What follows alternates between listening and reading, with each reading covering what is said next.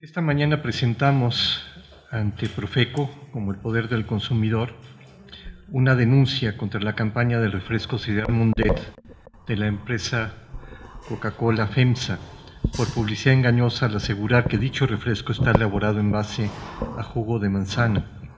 La campaña publicitaria Sideral Mundet ha sido en los primeros meses de 2015 la más intensa de la compañía Coca-Cola. Y eso es decir mucho, ya que la empresa Coca-Cola tiene en México una de sus campañas publicitarias más intensas en todo el mundo y somos los principales consumidores de bebidas de esta empresa. Con la finalidad de evitar que los consumidores reciban información engañosa, caigan falsas apreciaciones del producto y tomen decisiones erróneas con base en estos anuncios, se solicita a la Procuraduría retirar la campaña Sideral Mundet, ya que representa un riesgo para los consumidores.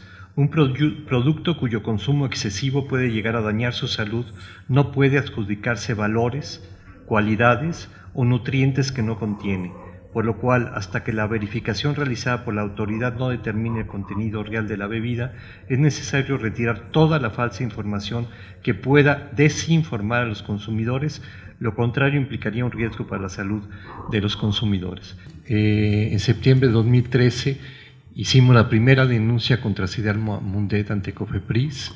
Sí, eh, tenía este lema eh, principal, principal que lo bien hecho hace bien, sí, lo cual era una, un engaño.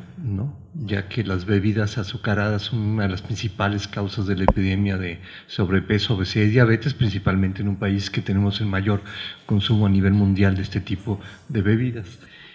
La información que da Sidral Mundet es que tiene 1% de jugo de concentrado. Si tomamos este, esta botella de 600 mililitros, ¿no? pues 1% son 6 mililitros sí que es esta cantidad. Creo que ni la van a poder distinguir. Es decir, de toda esta botella, sí, nada más esta cantidad es de jugo de concentrado.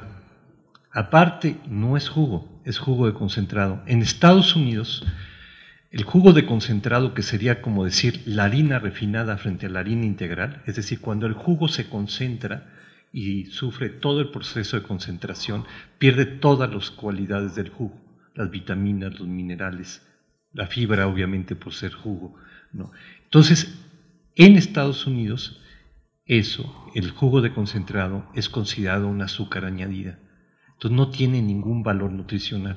Cada una de estas cucharadas son 5 gramos.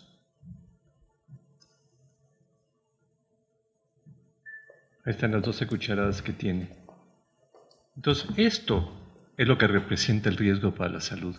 Y esto sirve para decirle a la empresa y toda su publicidad que tiene jugo de manzana. Eso significa que un niño que se bebe esto rebasa en 240% el máximo tolerable establecido por la Organización Mundial de la Salud.